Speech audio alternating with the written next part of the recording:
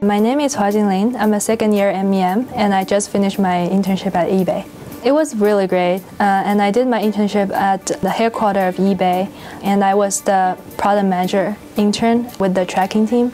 It was a very fun experience and I like the company, uh, it, the environment is so great and also I like the work I have done, uh, the product management uh, is something I've never worked in before and the whole internship experience makes me want to continue uh, to find a full-time job uh, as a product manager.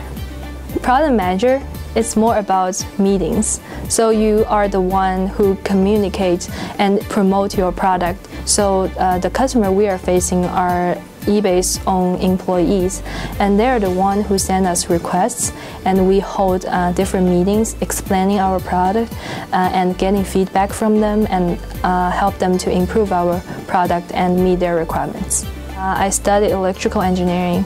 But in, here in MEM, uh, you are exposed to a lot of business courses, not on the engineering side, but rather on the business side. So I have a very solid background in both business and technology, and it makes me a better fit for my internship role you have the option to choose whichever direction you like to take. And for my perspective, I really like business analytics. So uh, it's like more focusing on getting the data, dealing with the data, and get the right solution.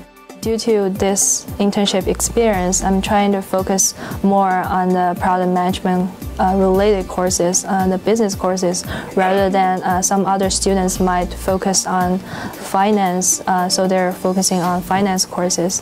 So you would know, you would have, have a better understanding of what the real industry is, uh, and the whole internship experience would find you a good fit for yourself in the future.